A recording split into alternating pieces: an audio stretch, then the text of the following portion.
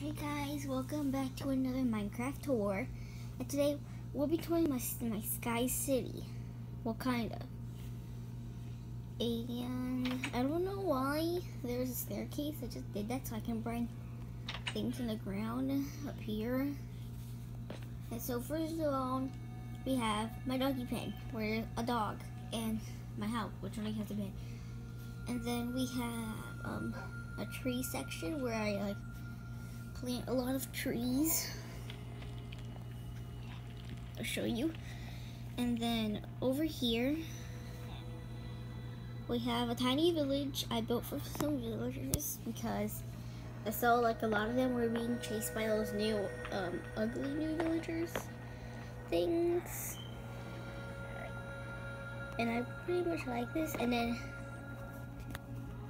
next we have, oh my god, there's a creeper. What is it doing? Gonna kill her.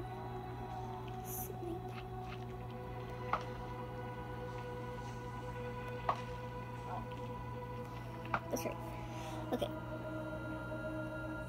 So we have like some rideable animals right here, which is my horse and my llama.